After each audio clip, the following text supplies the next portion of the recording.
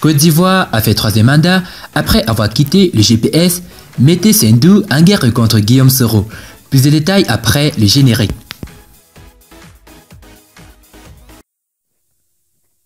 Avant de commencer, abonnez-vous à la chaîne et activez la cloche de notification car cela va vous permettre de ne plus manquer les prochaines vidéos. Let's go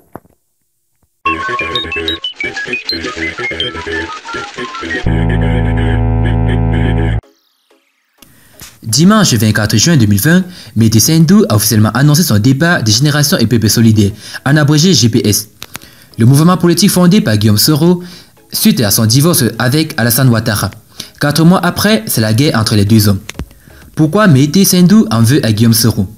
Dimanche 24 juin 2020, Mété Sendou a officialisé son départ des générations EPP solidaires. Le conseil de Guillaume Soro avait publié un courrier exprimant la décision de se séparer de l'ancien président de l'Assemblée nationale. Par le présent courrier, je vous adresse ma démission du mouvement Génération EPP Solidaire en ABG GPS.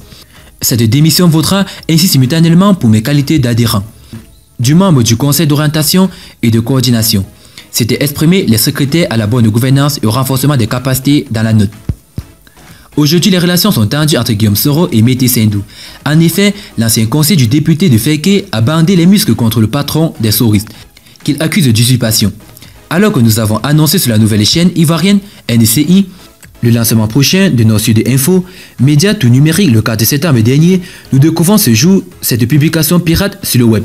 Naturellement, nous ne nous y connaissons pas a écrit Mété Sendou dans une publication sur sa page Facebook en réaction à la création de nouveaux médias proches de Guillaume Soro.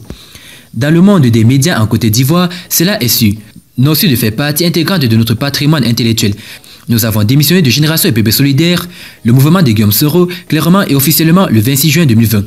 Il est donc évident que nous sommes partis avec nos suites dans nos bagages, a enfoncé Mété Sendou qui soutient que son titre continue de hanter certains esprits, de charrer certaines nostalgies. L'escadre de GPS est allé plus loin en accusant Guillaume Soro de vol et d'usurpation. Mais vous savez ce que dit l'adage L'habit ne fera pas le moine.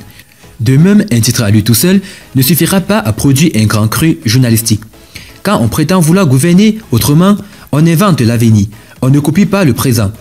On a donc là un cas patent, certainement pathologique, d'imposture chronique. Vous êtes donc prévenus, chers compatriotes, L'imposture est au détour de chacun de ses actes, de chacune de ses paroles, a-t-il martelé.